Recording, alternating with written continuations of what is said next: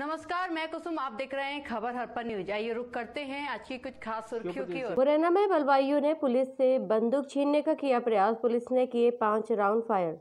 एक बलवाई को लगी पुलिस की गोली, एक पुलिस का जवान हुआ घायल। आज सुबह मुरैना पुलिस परेड ग्राउंड की घटना, वहीं पुलिस अधीक्षक ने बताया कि पुलिस की मासिक बलवा परेड में यह हुआ घटनाक्रम।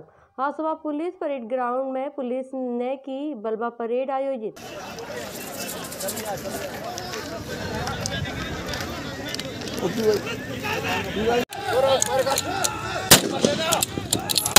लौट जाओ लौट जाओ एक तो लौट जाओ लौट जाओ जाओ यार वो कर रहे हैं। पर ये लौट जाओ।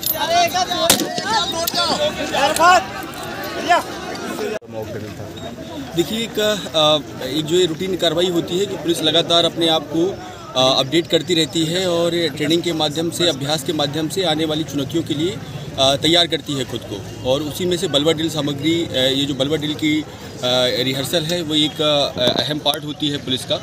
और आज बलवा ड्रिल का आयोजन किया गया, उसमें आ, कि आपने देखा कि किस तरीके से जो एक रियल सिचुएशन होती है कि दंगाई आकर के और माहौल ख़राब कर सकते हैं किसी भी एक्सटेंट तक जा सकते हैं और उस, उस एक्सटेंट से निपटने के लिए आ, पुलिस को जो है किस तरीके से क्या कार्रवाई करनी चाहिए वो उसका पूरा एक अभ्यास यहाँ पे किया गया है।